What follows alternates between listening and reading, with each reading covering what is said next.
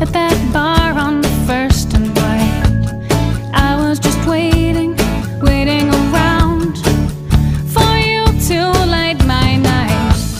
And you flew so high, you were a barfly. We lived in a world.